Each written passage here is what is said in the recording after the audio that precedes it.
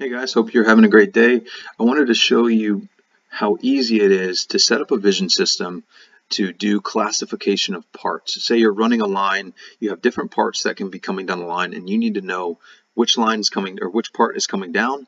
Um, the wrong part comes down or you just need to determine this is part A, this is part B, this is part C, and have the, the, the line do something different depending on the part that comes down. So um, I have one, two, three, four, five different bars here, Nutrigrain bars, Kind bars, and I'll show you how to get this stuff set up quickly. So using the new uh, Cognex In-Sight 2800, which has example-based edge learning, which we'll be utilizing today. So this is their free software. I throw a part under, the exposure is high, the focus is poor, but what's nice is it has integrated lighting on the front and a liquid lens. So it's a single click to optimize my lighting and a single click to optimize my focus. So you can see the part extremely well there. So once that is set up, then I go down to my next tab, which is the inspect tab. And so for this, I'm going to be utilizing classification, determining what part is coming down. So I'll use the ViDi Edge Learning tool to classify. And for this, I simply want to look at the entire region that I'm able to see here and hit OK. Now what I'm going to do is it's going to pop up two default um, categories on the side, OK and NG for no good. What I'm going to do is I'm going to change these to the different parts that I'm going to be seeing. So the first one is Nature Valley. The second one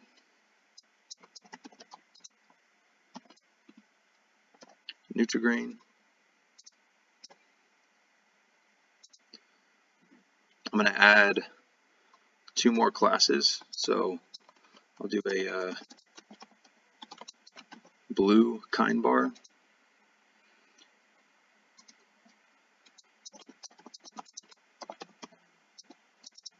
And then a yellow kind bar.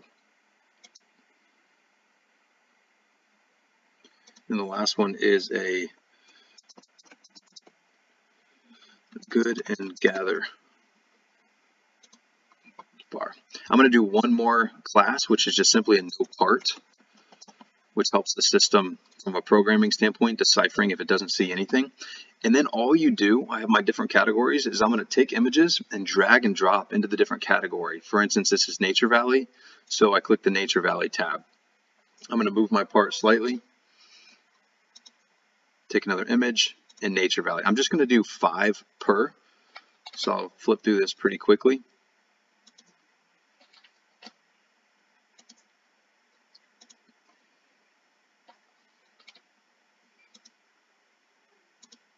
So I'm not dropping any specific tools down. All I'm doing is showing the system what these different parts look like.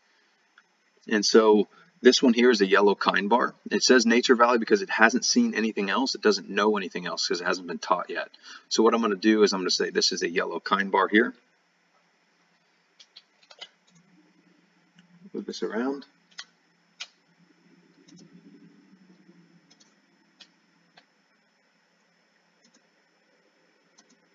Even though that's a little bit out of the frame, I'll still use that. I'm going to go to my blue kind bar now.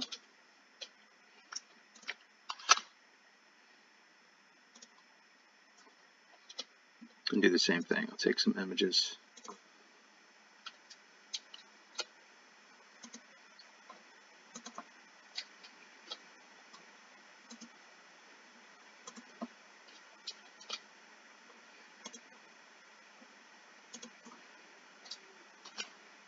Right, now I do my Nutrigrain bar.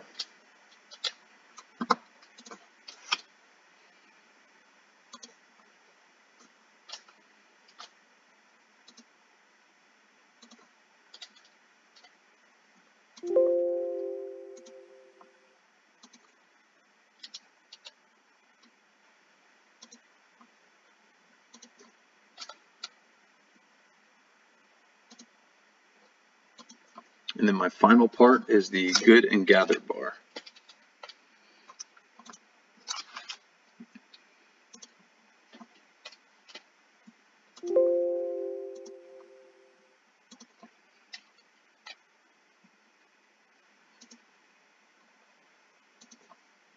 And there really is no limitation to the amount of different classes that you can make.